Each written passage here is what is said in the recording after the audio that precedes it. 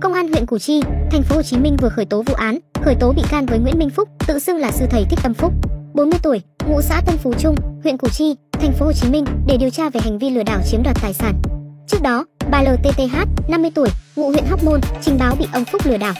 Theo trình báo, hồi năm 2021, bà T có mua một thửa đất của ông NVT và bà NTCN làm chủ với giá 2,4 tỷ nhưng chưa làm thủ tục tách thửa được.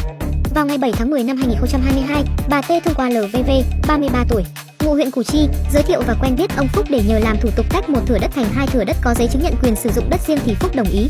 Mặc dù không có chức năng để làm thủ tục tách thửa đất và cũng không có mối quan hệ nào để có thể làm thủ tục tách thửa đất nhưng do có quen biết và nhiều lần thuê người làm giấy tờ giả, bằng cấp giả để tạo lòng tin tôn giáo nhằm lừa đảo người khác nên ông Phúc đồng ý nhận làm thủ tục tách thửa đất theo yêu cầu của bà HT. Ông thỏa thuận với các nạn nhân làm thủ tục tách thửa đất với chi phí là 135 triệu đồng, nhận trước 70 triệu. Sau đó, ông Phúc thuê làm hai giấy chứng nhận quyền sử dụng đất giả trên ứng dụng xã hội.